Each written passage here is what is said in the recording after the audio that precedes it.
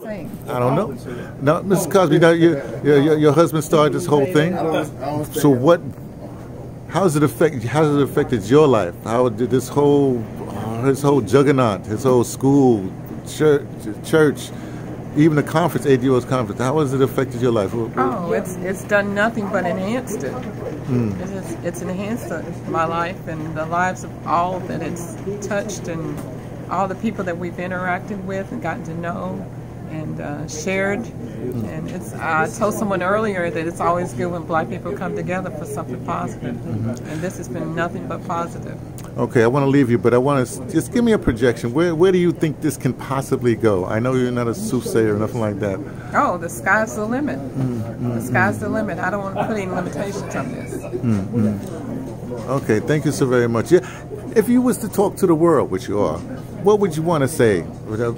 Just about the, the, the results of the conference or just anything? Think get to get to know your history mm. and become empowered and share that knowledge with someone else because a lot of times we, we're not able to come together and to grow because we don't know. And we need to know and share our history and share our lives and our experiences with one another and get back to doing that because that's something that we have dropped along the. Uh, would you please tell, would you please tell us your entire name and what your lineage, how you how you how'd you get to Louisville, Kentucky? Oh well, my name is Barnetta Turner Cosby. I grew up about hundred miles from here in Richmond, Kentucky.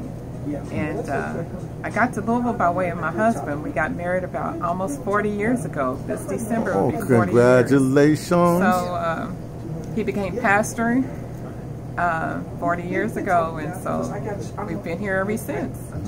Thank you so much. Thank you.